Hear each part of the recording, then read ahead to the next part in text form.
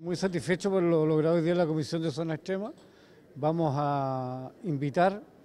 a que vengan a exponer la Asociación de Industriales, Asociación Gremial de Tierra del Fuego, eh, sobre su particular visión de lo que está ocurriendo con las leyes de excepción en Magallanes,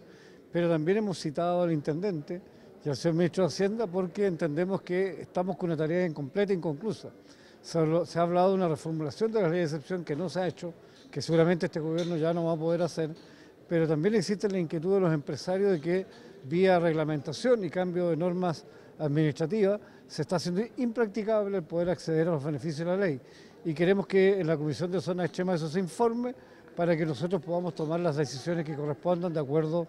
a lo que allí nos digan, por un lado los industriales y por otro lado el Ejecutivo, representado en el Intendente de la región y, por cierto, también el señor Ministro de Hacienda.